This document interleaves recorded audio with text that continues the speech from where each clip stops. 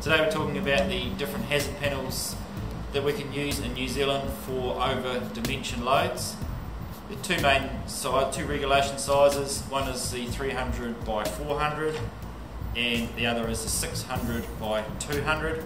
They can be mounted on different materials, and there's a single-sided option which has reflector on one side but not on the other, or a double-sided option which has reflector on both sides.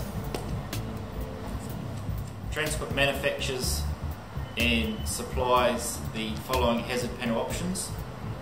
The most popular one is the 9206 left and right. This is on a strong alloy panel. Um, it is confusing which is left and which is right because the left hand on the front is the right hand on the rear. So to save this confusion we have a simple diagram showing which is the left and which is the right. Um, these panels must be mounted correctly to meet the rules. Also have the 9207, this is a double-sided hazard panel on alloy.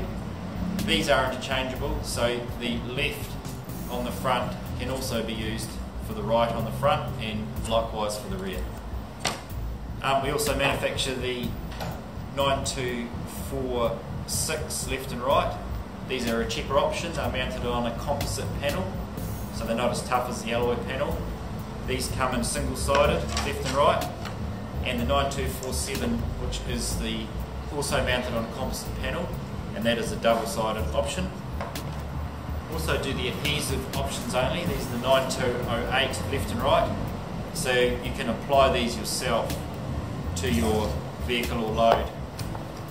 We also manufacture the 600 by 200 size. This is the 9256 left and right. Um, these are mounted on the alloy panel. The 9257 also mounted on alloy. This is double-sided and it is interchangeable.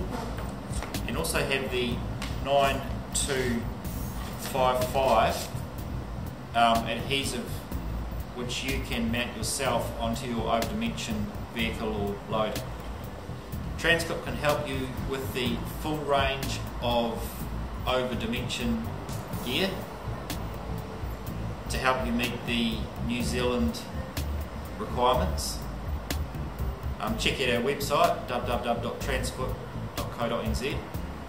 Um, if you're unsure what you need, a good place to start is on the NZTA website, fact sheet 53A.